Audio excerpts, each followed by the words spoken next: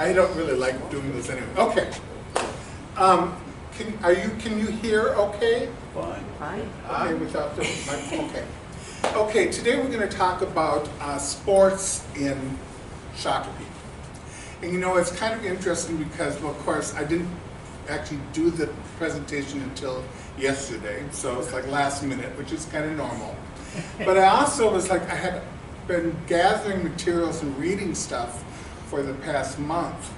And there's a lot of interesting stuff out there. So what I'm gonna show you is just a very small part of what we have. And I just basically just picked a few things that I thought were kind of interesting to me. And, you know, there could be much, there's much more out there, so just so you know. Um, I like this picture specifically because this was 1904. And this was the basketball team from Shakopee. What's interesting is because, well, not only their outfits, which I'm sure were probably look probably just like what they probably have on now, but you know, even how they uh, played um, basketball and just like any other sports were very different for both men and women, and that was definitely true. I remember my mom, even when she was growing up, they would play kitten ball. The, the girls would play kitten ball while the boys were playing baseball or whatever, you know, that kind of stuff. So it's just kind of the way it is. But I just want to talk about a few things, and we'll start with the, the earliest picture we have of Shakopee. This was in 1852. It was a drawing by um, Robert Sweeny, and he was playing a golf, uh, uh, what is called, um, what we call lacrosse. And this was the Dakota Indians, and they were playing on the prairie in Shakopee. In other words, where all the houses are, probably, is where this was going on. And they actually used to say that the, um, the ball play that used to play at this time was both for men and women. They'd be separately as two different groups. And they would um, play against other teams in the area.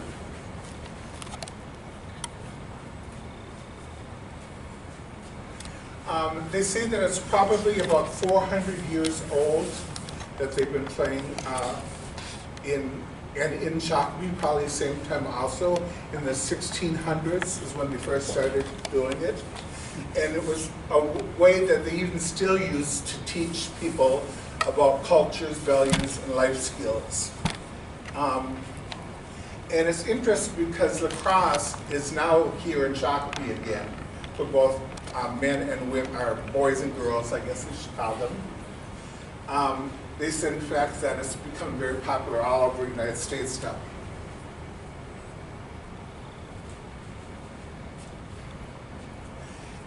And we talk about the Dakota Indians at that time, their ball looked a little bit different.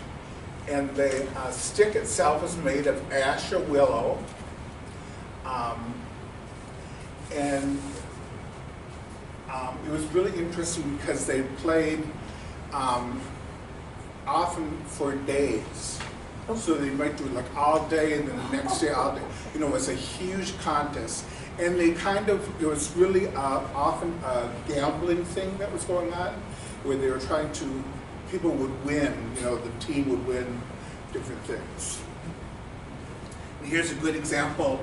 This one was in, in three days when it had, had in Oak Grove, which is now in Bloomington, in 1852 as part of this um, get together of people.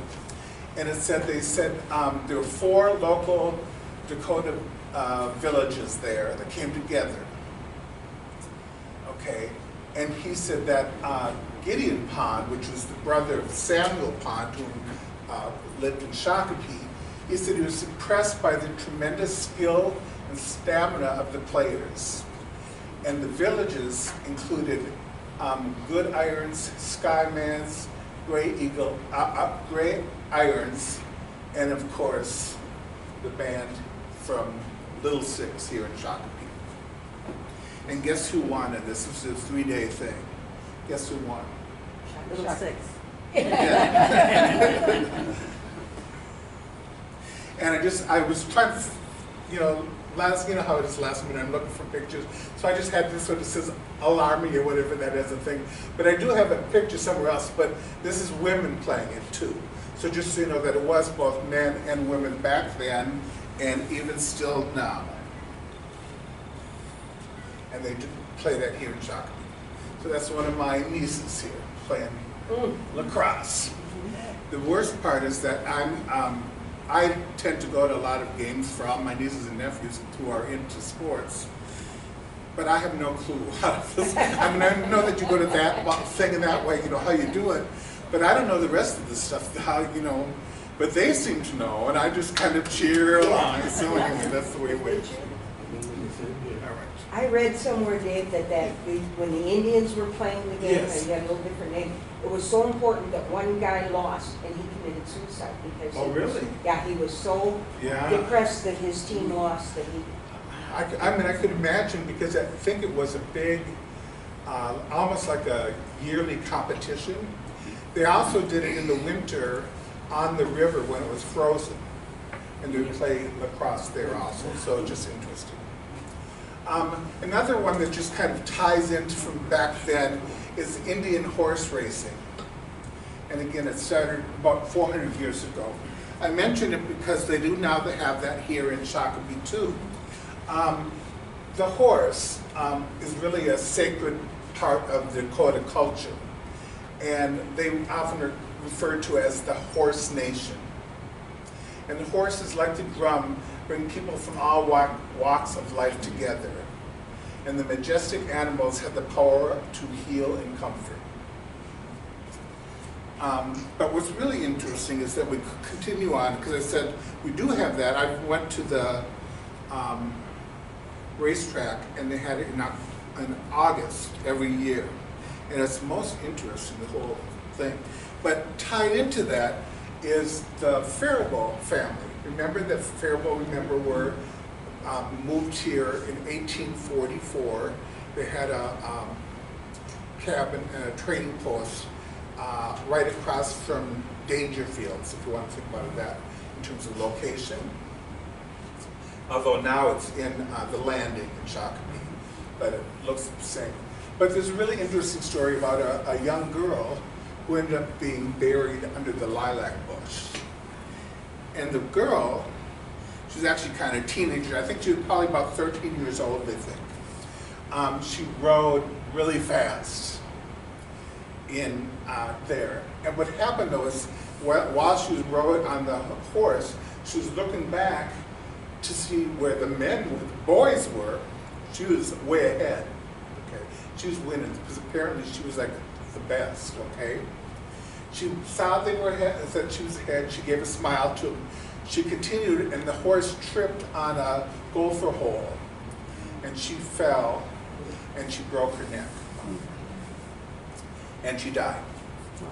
And it's interesting because the mother of this woman, a girl, I should say, I never noticed a girl as a teenager, 13 year old, but anyway, she was, um, what was interesting about that is that when I ask, people don't remember the name of the, the girl.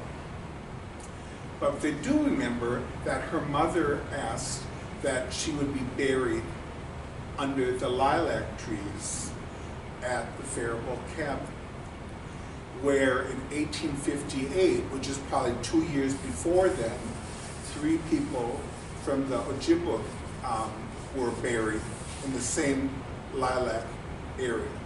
So there's actually four graves that are in the on Faribault property downtown. Now the um, Shakopee, Mdewakanton, Sioux community now has that land. And they will keep it because it's part of um, the history and the, um, the honor of the graves, okay? But it's just interesting because of that, and also the story about um, Eliza.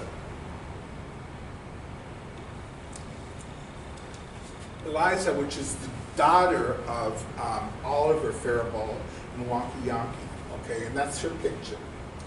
Um, she remembers that she remembered that the girls had bracelets on her wrists I find it so interesting the little specific things that people remember.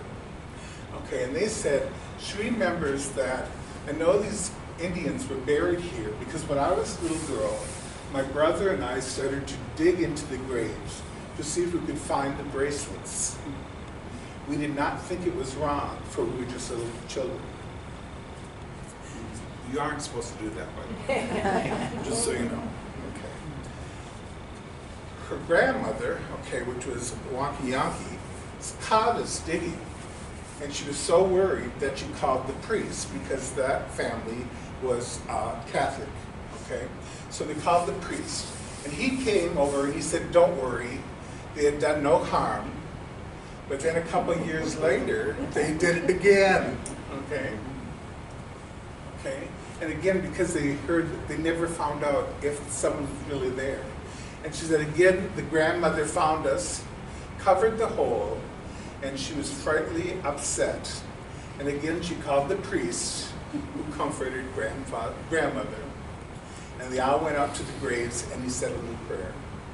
So just an interesting tie into the whole thing, I think. And then it says, then the priest told Grandma he didn't think those Indians mind our digging for them one bit, as long as we were only trying to find out if they were really there. Now, the priest felt sure our curiosity was satisfied and we would let them rest in peace. And it's important just to remember that now we have laws in the books that says do not disturb graves, okay? Just to make sure people don't get the wrong idea. And again, the Indian horse races um, happened in August. So far, when I've been there, there have been women involved, but not the main um, rider. I'm i- interested to see if that will change more, but it's just interesting. Okay, here's another one of these pictures. This was from 1911 of the basketball team, of the high school. I just really just love the picture. Pictures of these people. Look at her eyes here. They were so smiley, yeah. Now, we do know that with, with uh, older pictures, they tell you not to smile because it takes, that when they take the pictures, it took a few minutes, and if you moved, it, it changed, so you had to keep it the same thing. So that's why that's, uh, but it's, it's still a great picture. The problem with this, and with all the pict, a lot of pictures that we have, we don't know who these people are. And we should. Um, Unfortunately, we didn't have yearbooks back then. The uh, first yearbook, I think, was in 1953, I think. Oh, wow. Okay, so we have those books, but anything before them, we don't have, you know, except we may have pictures like this. Not a lot of them, but what we do. Mm-hmm. And so on, on your table, you'll see there are some pictures. Mm-hmm. You may or may not know anybody there, but there's potential. So I always throw these out. I, these are just ones that we don't know. And after you've looked at them a little bit, then just pass it on to the next group. And we'll just kind of pass it around so everyone has a chance Are all the to look. different? They're all different. And on the back, there's uh, sticky notes or whatever, and you can write, if you have a guess of somebody, even if it's wrong, you can do a question mark or whatever, but if you know anything about that, to make a note of that, that would be very helpful.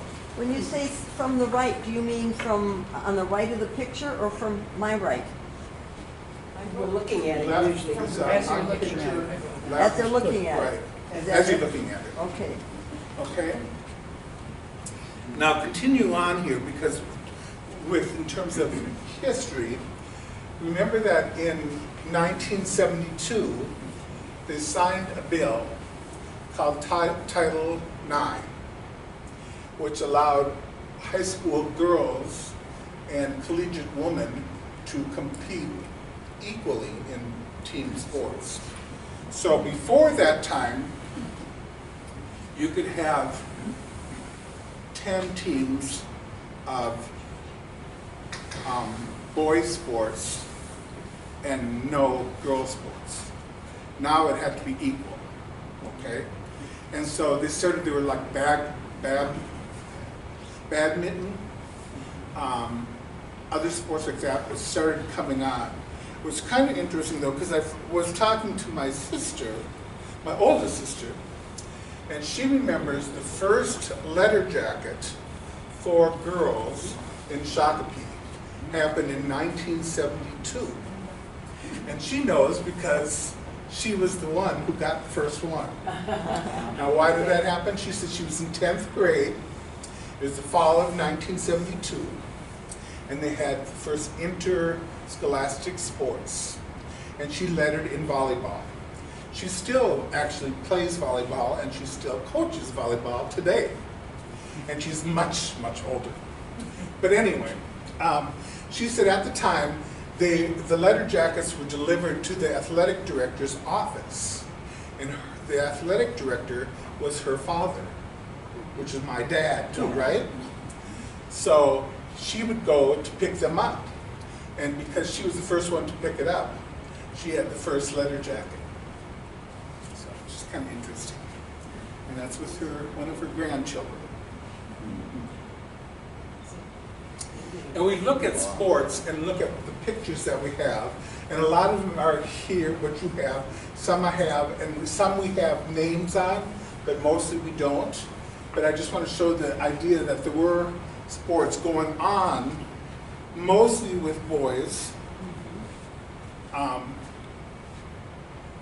but again, very little um, names of who the people are. We can kind of guess a little bit about time, about, but we're not sure, you know, that kind of stuff. We're finding something, like here's one where, this is about our bowling team, okay? And it just happened that they have, on the top, middle one is um, Julius Coller the first. So we know that. We don't know who the other people are, but we do know that. So that kind of thing is how we find out bit by bit. So here's another one of uh, football where they're really dressed up for this. But this is the Shakopee football team in 1909. And it's just interesting to see the names of the people there. Delwo and Verlin, Oh, Barron's, Snyderman. Barron? Yeah. Yeah, so it's interesting. There's some of the names that pop up. Yes, yeah. And most, yes, and most of them play Baseball. In fact, it was very, you know, I remember growing up, my, um, we always did three sports if we did sports. Fall, winter, and spring. Three different sports. Today, unfortunately, they want to do one sport throughout the year. I personally believe it's not the best way for, for people, for them to be good for them as a person. But it's the way they do, do it now, I do that also. The the gymnasium, what, what gymnasium, nineteen thirty?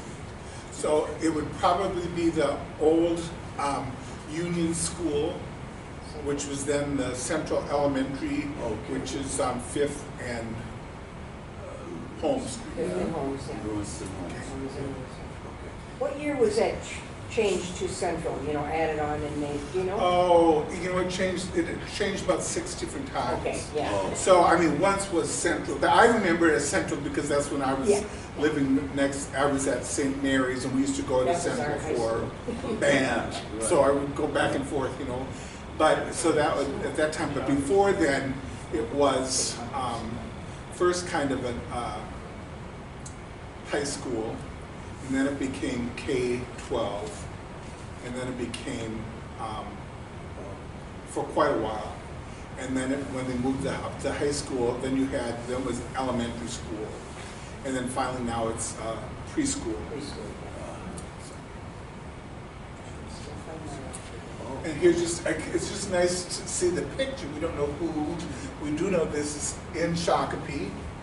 We don't even know where this was. You know what I mean? Um, I just kind of like the uniform. Yeah, Personally, it's just kind of cool. Yeah. But anyway, it's just interesting. Again, if we could find out that, it would be even better to find that kind of stuff out. But it's just good to see them. So that gives you a little idea about when you talk about sports. And there's many more than that too. But there's not a lot of pictures back then. But the one area that's most popular that you find information is when you take them out to the ball game, okay? And um, um, baseball was probably the most uh, common sports in uh, Shakopee. Um, and well, I do remember this was the, the mayor at this time had forbidden the playing of any exhib- exhibition or matches of baseball within the city's limits on Sunday. That happened for a while, but it didn't last very long. All right. But we do know that there were some people in town. I think the first uh, uh, ball games that happened were starting in the about 1858, 1859, but they were um, nothing, no league or anything. It was just more just play the game kind of thing. It wasn't so much like the back and forth between different teams and stuff like that. But here's the one that's just kind of interesting is William um, Bill Barnes in 1884. He's the first professional ball player who was for, from Shakopee. He was born here in 1858. He played only one season at age 26 for a St. Paul team. There's various names for what it could be, but we know that he played um, with the Union Association. That was the group that would play, get together. But when the Union Association collapsed in 1885, Bill retired from baseball and he spent the rest of his life as a laborer in St. Paul. And there's actually a picture, it's not the best, but it does show a picture of him anyway.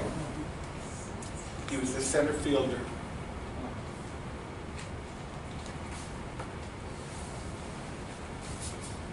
Okay.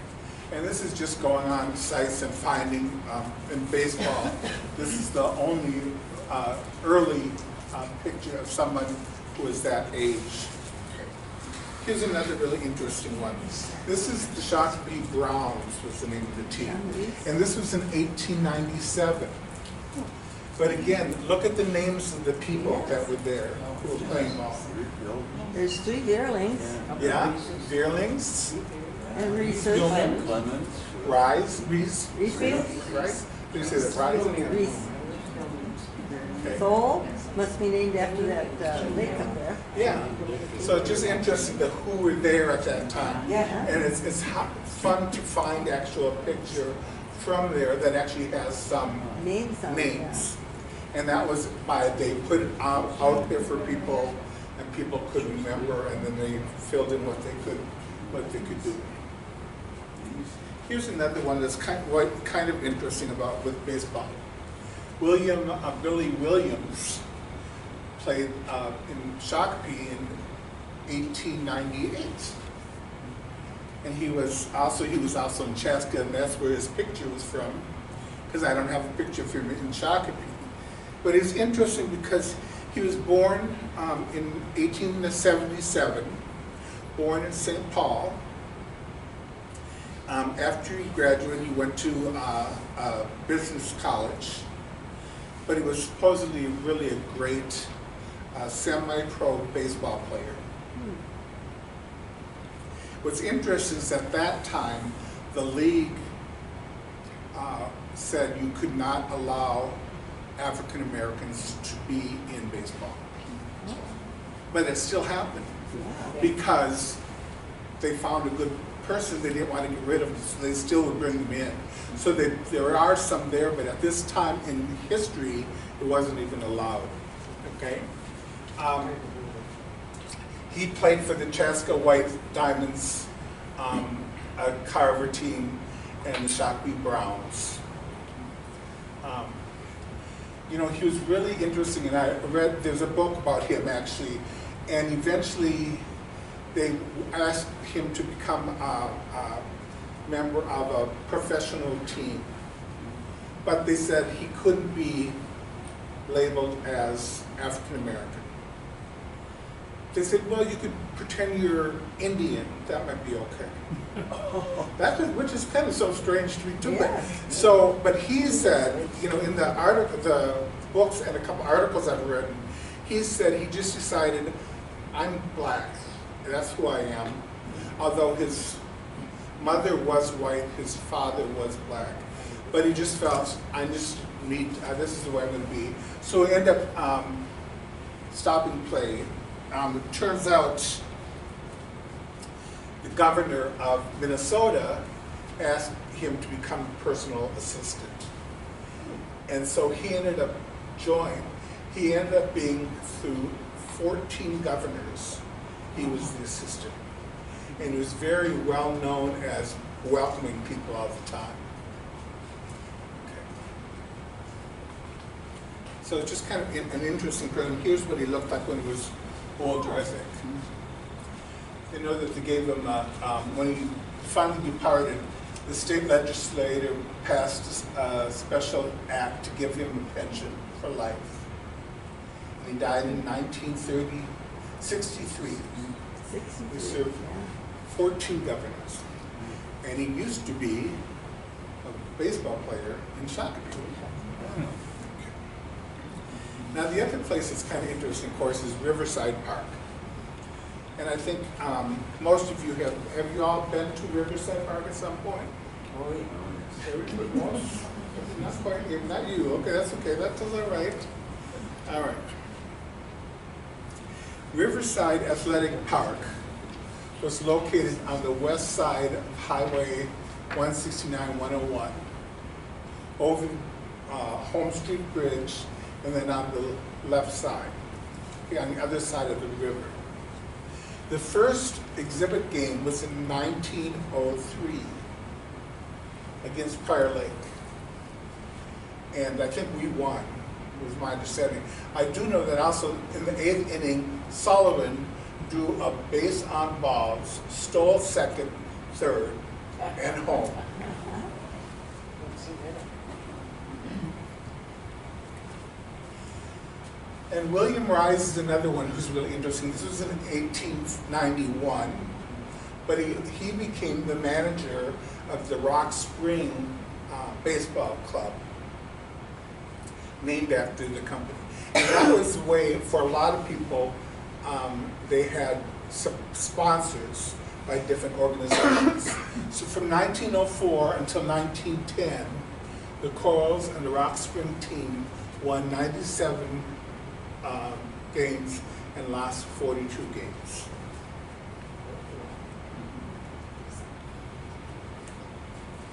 And here's the baseball team in 1907. And again, you see who the people are. You got uh, in the background, where's it, just left to right? Oh, yeah, top okay. So that's George Veerling, okay? Shooty,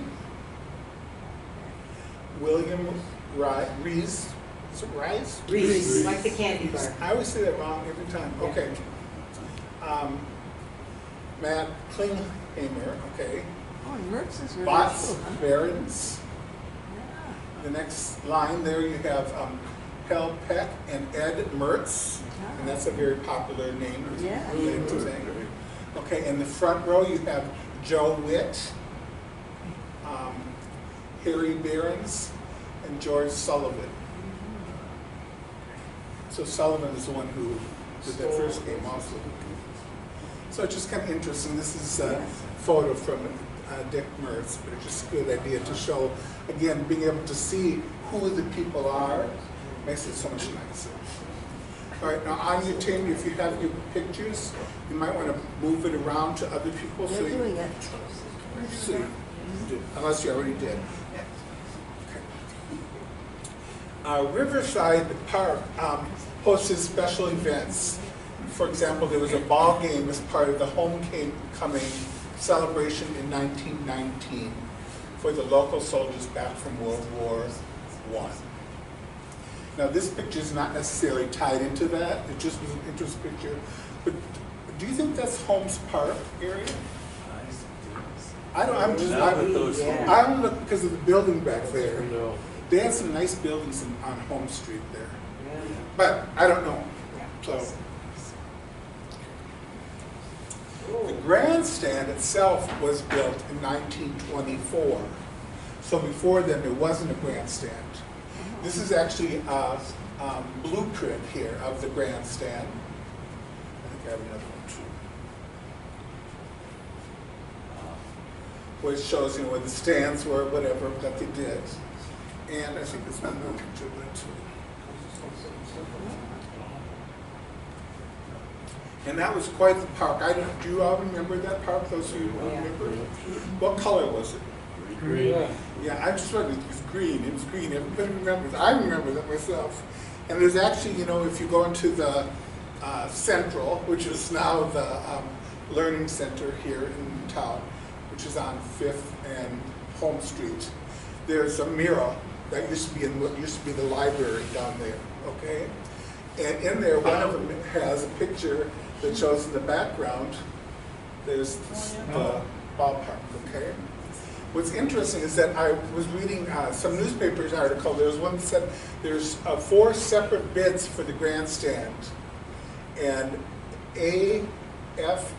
Hut, House, I should say, Booth, I should say, was picked to build the stadium for two thousand three hundred ninety-four dollars.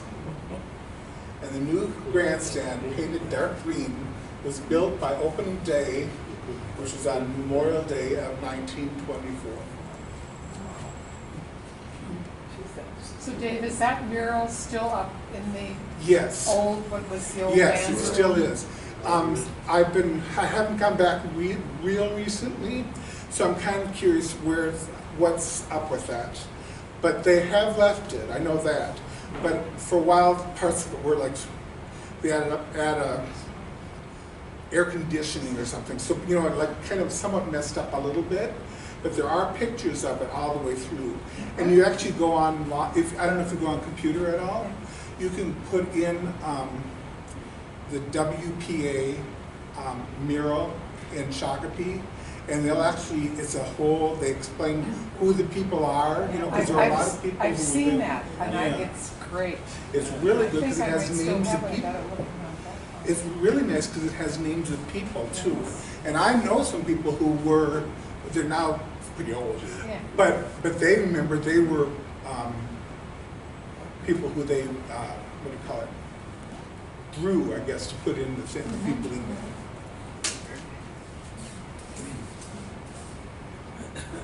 It's also interesting because they talked about uh, a Riverside Park that the wall was about 320 down the left field line, 310 at the right, and the center field was 360 feet from the plate. But this is interesting because remember in the 1970s, so this is going forward a bit again, although this is kind of the past. All right, when Elm Street began dying, remember because of um, elm disease? So then, that used to be all along the fence there. And when those died, then the sun would come all the time, and they'd have to stop playing for a while when the sun was too much so they couldn't play ball. And there's a picture of it.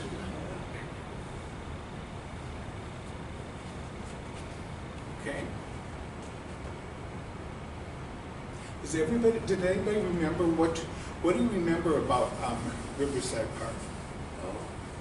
Those who Really? Mosquitoes. Me too. That's what, when someone was asking me one time, and I said, that's the first thing I remember was mosquitoes.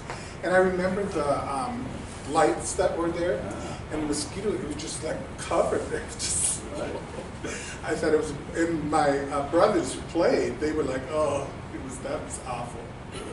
So I'm just They what, you do remember. I mean, I think there's other things you remember too, but that's one thing, thing that people brings up most often. They played Yeah. football there too. And if, yes, they did. I remember the nineteen forty-eight, uh, state baseball tournament. People lined up around the fences. I was helping my brother collect bottles. And I, I wanna say we got a nickel a case for collecting bottles. I bet you got a lot too, didn't you? And, uh, we had so many cases of bottles out in left field we couldn't get them all turned in and they turned off the lights. I, I don't know what happened after that. That's so interesting, what a great story that is. So somebody owes me thirty cents. Yeah, right. Why don't you contact the Shakopee Baseball Association? I think my brother Tom, should tell him. There's a problem with that, you can talk to my brother Gary, because now he's head of the Minnesota League person, whatever. All right. One person that's kind of interesting is Wally Kopp. I think. Kopp, Kopp, right? Okay. I like the green room. And I know that in the Shakopee Argus one time, they talked about how he threw a no-hit, no-run game against uh, St. Bon- Bonifacius. Um, and they also, it's interesting what they talk about him, says he's, he's a right-hander thrower, bats from the left, is six feet tall, and weighs 200 pounds. I'm like, I'm so glad they told that information to me. But anyway. After high school, he played in the Class D organization, which is in, in Texas. Um, he caught 100, 105 games, um, hit 334, um, batted 392 times, scored 78 runs, made 103, 131 hits, including 17 doubles and 12 home runs. Three where the baseball field, or was full, uh, grand slam. Okay. Okay. So it's just kind of interesting, the kind of thing they talk about here. Another really interesting one, that some- some of you remember, is Lefty, okay? Um, He was formerly a Cleveland Indian person. He moved to Shakopee, and then he ended up managing the teams from 1937 to 44, as well as 46, 48, 57, and 58. His teams won 143 games and lost 75. And here's just kind of interesting picture. He is the second one on the left, this one right here. And he was in with the Cleveland Indians team at the White House in 1921 after the team won the World Series. So this is before he moved to Shakopee. Okay, which is kind of interesting. And that's actually a picture of him there, which I think they colored. But anyway, um, Warren St- Stemmer, from, who was from Shakopee, he talked about him and he said um, that he had pinpoint, pinpoint control, a good curve, a good fastball, not a great fastball, but Lefty had such a terrific changeup that it made his fastball look so much faster. If he needed an out, he would reach back for something extra.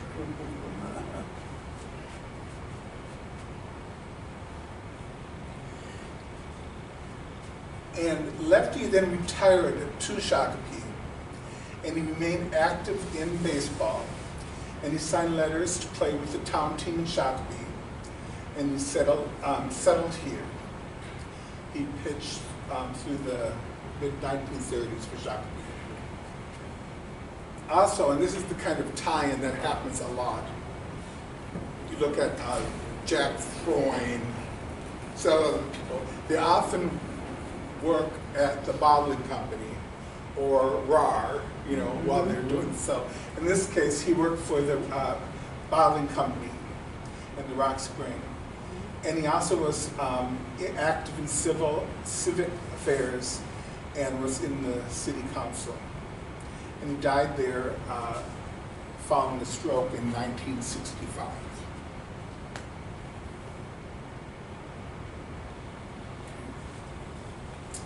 Now, when we talk about Shakopee baseball, we talk about the town team, and then we have to talk about the um, high school teams too. And so we have both going on all the time. Um, the Shakopee Indians amateur baseball team was established here in Shakopee in 1938. So remember that the first um, baseball playing started in 1858. But, you know, this is when they actually had the thing. All right. So here's another one that's interesting, is Warren Stemmer. Um, He was a- just an interesting person. Um, He attended the high school here. And in that time, he um, won the 1940 state tournament. Then he served in the Army. He signed a professional contract with the um, Braves. But I don't know what happened after that, but I don't think he stayed there. Um, here's a picture of the Shakopee team in 1940. Um, and it just, just to see who's there. Um, can you see what this says on here? You want me to read it up for you? Can, yeah. read. I'll read it up for you. Um, let me see. Team members E E-I-N-A-R, Einer. Einer. Einer Erickson, Lee Wagner, Leon Schul- Schwartz, Schwartz, I should say, Art Rathgard, manager Lefty Odenwald, Oh, um, John Cap. Kep, Cope, Kep, Paul Rosen, Oh, oh, oh. Harry Ball, Joe Ring. He became uh, mayor, I think. Um, George Curver, Warren Stemmer, Frank Almich, Skinny Gazer, Roy Delwo, Grower. Charles Kavanaugh, Oh, Jess, Jesse Schwartz, and the mascot Jimmy Majerus. Yes. Maurice Gorham, Andy Ander, Andrews, and Russ Markway, Wayne, I think. Uh, Okay? So it's just kind of interesting to see that, again, having the names really helps. Yeah. So when we have that, it's great. That's what we're going to eventually do more. Now, we talk about uh, Warren again, um, he played um, amateur baseball from 46 to 53.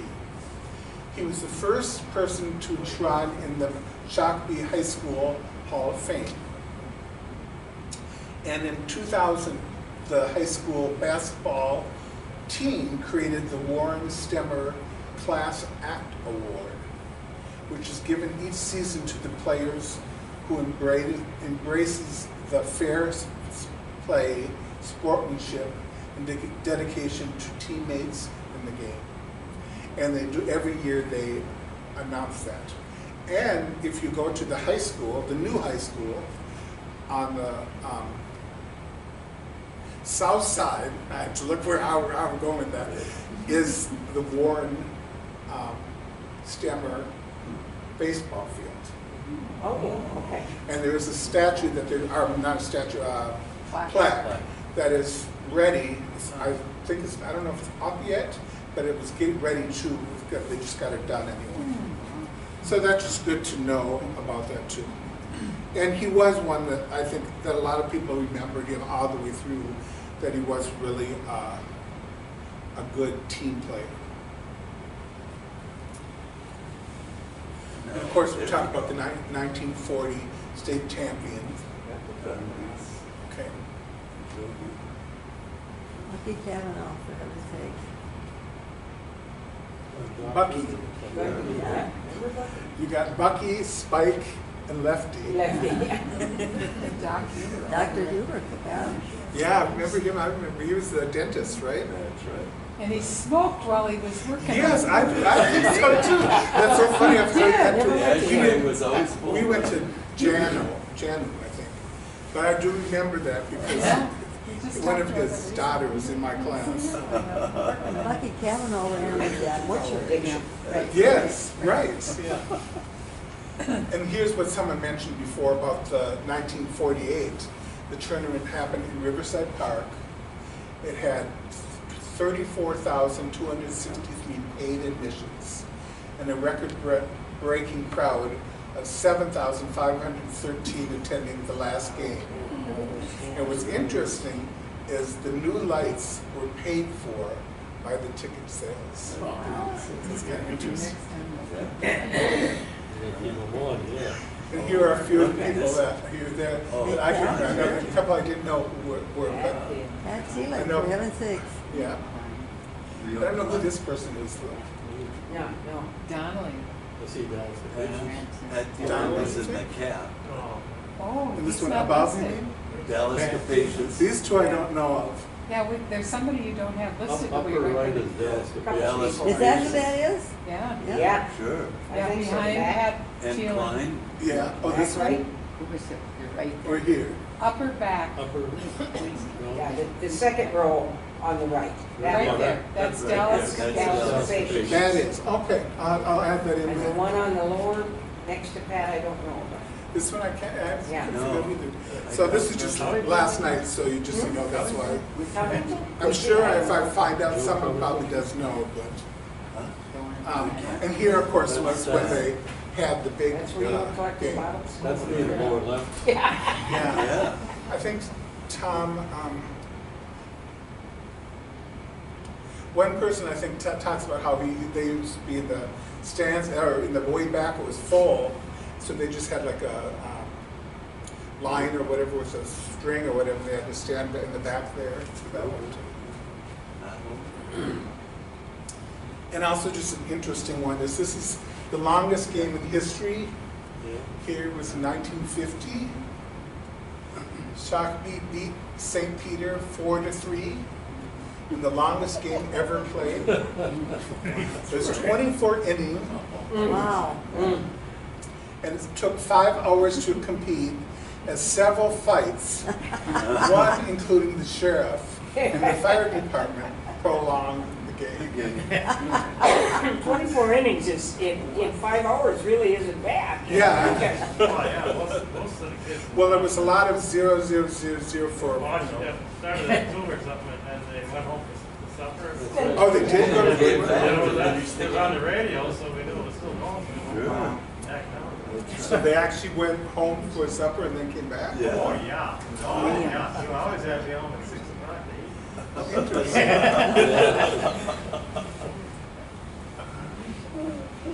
That's not the best picture anyway, but okay. Yeah. Looked like it. So when we talk about the, um, the grandstand in Riverside Park, um, in eight, or nineteen eighty-three, the old wooden stands had been declared condemned because of moisture and rotting conditions.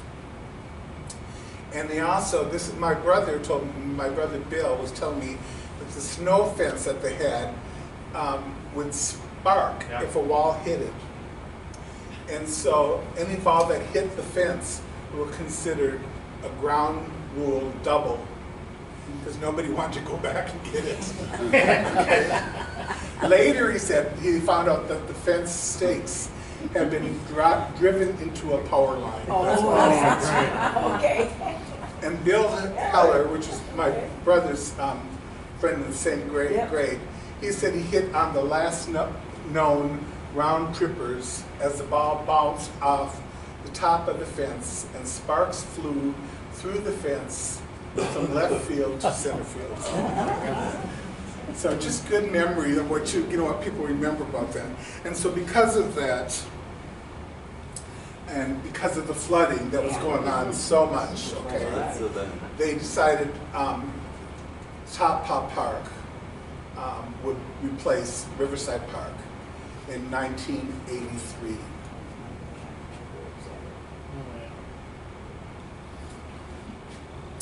Um, my dad um, was a player manager even when he was in high school. He went to uh, um, Detroit Tigers for one year. He didn't really like it because he said he was there to be a pitcher, which he liked, but he also liked to hit, and they wouldn't let the pitchers hit. And he used mad. So anyway, he came back. He eventually moved here to Shakopee in 1962. He coached the high school baseball teams, played for the Indian Town teams in the 60s. One season, his average was uh, 542. He managed the team and then president of the Shakopee Baseball Stadium um, and Light Commission, I think, from 18, or 1984 to 1998. And it's just interesting because there are some interesting photos when they're actually building place. So they had the, the area there with the, lo- uh, JC, JC's, I think.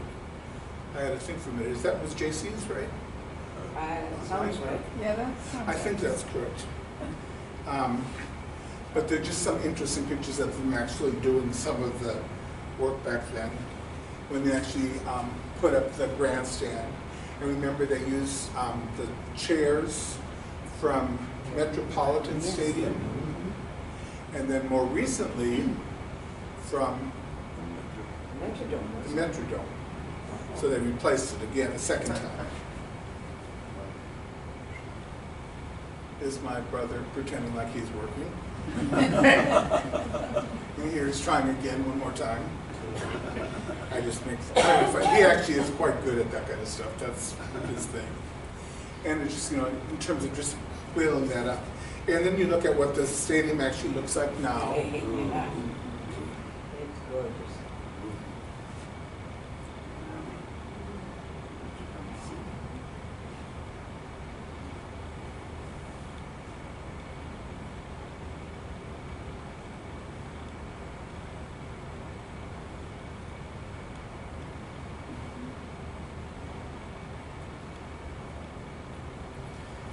After my dad died, then they um, named the stadium after him.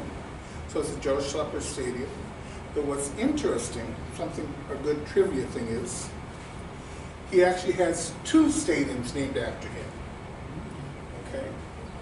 When he was uh, in high school and afterwards, he and his four of his brothers, the five of them, were baseball players. Um, Joe was the youngest, obviously, of, these are five, there were nine in the family, actually. Two older um, boys were out working right away. but The rest of them played ball almost all the time. And in farming now, they have the um, Schleper Brothers Field And, and where was it? in Farming, Minnesota, which is near Albany, Farming. Minnesota. Uh, yeah, that's probably the closest. You know where Al- Albany? There's a little town, very small, cow Farming. Oh, Huh, I didn't see that. And then just to know that today, sports have many options, as one option that you can do in, um, if you're interested in sports. And so just kind of interested, because I was looking through um, and finding out, for example, in fall sports that's, that are, are available for people now, adapted soc- soccer, cheerleading, football, girls swimming and diving, performance dance, boys soccer, girls cross country, girls soccer, girls tennis, volleyball. And you know, so you see how they're always have to make sure there's an equal amount all the time, no matter what mm-hmm. they're doing. And that's part of the thing. So that way, as many ways, it works very well because then a lot more people are able to do sports, whatever, if they're interested in. I know now that I think the volleyball, they're gonna do, uh, this is girls actually, and I think they're gonna do, they've done it, I think it's a club team, I think it's gonna become a, a regular, um, boys team. in the spring, that'll be spring. And, um, see, I take the pictures of all my nieces and nephews. All right, so winter sports, um, basketball, swimming and diving, girls basketball, wrestling, boys hockey, dance, girls hockey. I always wondered, because see, this is me, my vision, I was like, okay, suppose I wanted to be a, a wrestler and you're a girl. Can you do it? Yeah. Yes. I believe by law they have to. I But anyway, I just, I I- was I've curious. I don't know that anybody wants to, but it just, you know, But I think it's, Yeah. I know it's been done in other places, so, which is interesting. Um, and then spring sports. You know, the adopted softball, that's of course people who have disabilities who also are, can be involved, just so you know what that, what they're talking about. Okay, and there's a Schlecker one. there's another, Joey, Joey. And also, there are a lot of club uh, teams here um, in the high school. So there's like bowling club, uh, boys volleyball, which is going to become a, a regular sport, climbing crew, fishing club, mountain bike club, the Shakopee Urban Dance Squad, No. and the trap club.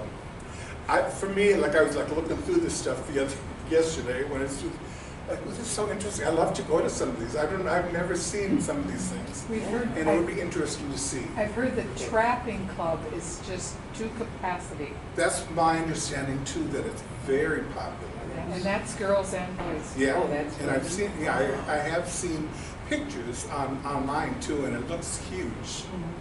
So it's just interesting, but too, you know, but even like fishing club is just, it's just interesting, but it's, it's a great thing, as, it- again, having more options for people if they want to. And to me, if they're doing something, I remember growing up with my dad, and I- my brothers and sisters were great in sports, right? I wasn't, believe me. I remember playing for a while, but it wasn't worth the time to do so. But I do remember that my dad was like, you know, what's important is you need to do something. You can't just sit around and you can't, you know. And I just remember him so okay, I can do other, you know, so did other things. And I like that, but I think what is important is that if people have more options, then they're more likely not being on the streets. Yeah. And that's what you kind of want, you know, I think that's why even this place is an important place to have for people to have. I thought Yes. that Sunstein was a drinking club. Yeah, I saw, when I first saw it, when I first had it, I had to go into it because that's all it says in the. I was like, what? I didn't know they allowed that. Yeah. I could join that. We, uh, we had, you, you mentioned involved, we had a neighbor with three boys involved in everything. Dad said they didn't have time to get in trouble. Yeah, I mean, that's really, I know that's why my parents were doing that. They had to, otherwise they'd be in trouble. They were anyway, but you know, not as bad. But now, now everybody is involved in something, and consequently, people are looking for summer help that they can't get because the kids Yes. are involved. So that is the other thing too, yeah, I agree with that too. But, you know, I, I do think, and I know there's a lot of people that don't go, do anything. But I'm hoping that every, um, student is able to do something that they're interested in. It's not necessarily, it could be, uh, drama, it could be, you know, there's a lot of different clubs. They have a lot of those programs also. So, A yeah, so it's just, but it's just kind of interesting to see that. Do you have a question or no? Okay. And finally, just so you know, coming up, I'm doing Home Sweet Home about dwellings in early Shakopee at the library on December 8th. And back here on December 11th, Tuesday, uh, 1 to 2. And that will be about um, the ferries, the drownings that happen in Shakopee, uh, things that happen on the river. Okay? So just so you know that. All right. Any other questions here at the end? No. Thanks again for coming. It was always good to see you guys. Very Um, Thank you. And if anybody wants to buy that over there, you just let me know because I have to fill out a form or I'll get in trouble. Yeah. All right, thank you.